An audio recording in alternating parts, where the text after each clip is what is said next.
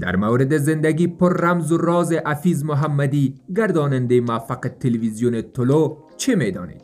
و از کجا آغاز کرد و چه رازهای پنهان در کار او نهفته است؟ سلام و درود نصارتان. ما در این ویدیو به موشگافی رمز و راز موفقیت های جوان پرتلاش حفیظ جان محمدی خواهیم پرداخت. بدون شک دیدن این ویدیو می تواند برای شما اگر دنبال موفقیت هستید موثر باشد. تا آخر بیننده این ویدیو باشید. اما قبل از آن اگر تا کنون عضو کانال ما نیستید برای دوست شدن با ما علامت subscribe را فشار بدید.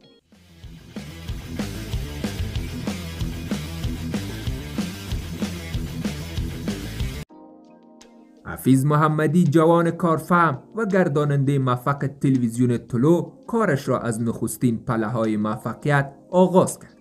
او که تازه از مکتب فارغ شده بود با جد و جهد فراوان کوشید تا راهی دوره تحصیلی شد تحصیلات خود را در رشته بی بی ای در دانشگاه کاردان به اتمام رساند و بعد از فراغت عازم کشور ایالات متحده آمریکا شد.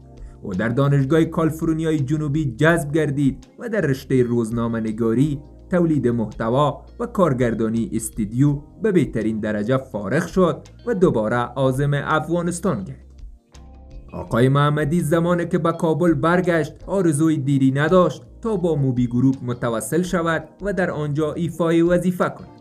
و در نخستین گام به عنوان کنترل کننده محتوا در Moby Group پذیرفته شد و محتوای برنامه های تلویزیون طلو را کنترل می‌کرد. دیری نگذشته بود که او مورد نظر مسئولین بلندپایه این کمپانی بزرگ رسانه قرار گرفت و برای مدت پنج سال به عنوان تهیه کننده ارشد نمایش های تلویزیون طلو مقرر گردید. آقای محمدی پس از کار در این پست به عنوان رئیس رادیو آرمان ایفای وظیفه کرد که در این مدت رادیو آرمان را یکی از بهترین رادیوهای پرشنونده در میان دیگر رسانه های شنیداری مبدل ساخت.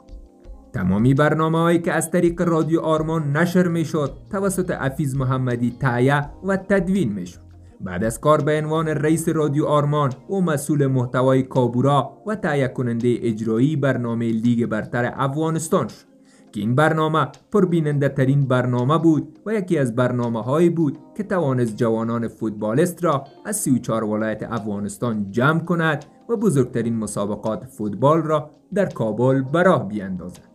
آقای محمدی در کنار کار در پشت پرده و تهیه برنامه ها یک گرداننده موفق در برنامه های 100 ثانیه و قاب گفتگو نیز بود. ناگفتن نباید گذاشت که جوانان و گردانندگان زیاد چون قسیم ابراهیمی، میترا امانی و دیگران از سوی عفیز محمدی امایت شدند و اکنون بهترین برنامه ها را در طلو به پیش می‌برند. اکنون آقای محمدی در یک سفر نابهنگام که خودش آن را سفر آموزشی و تحصیلی می‌گوید افغانستان را ترک کرده است. او یکی از جوانان نخبه و الگوی موثر برای سایر جوانان است. سپاس از این که تا این دم با ما بودید. اگر تا کنون عضو کانال ما نیستید برای دوست شدن با ما علامت سبسکرایب را فشار بدید. تا دیدار بعد بدرود.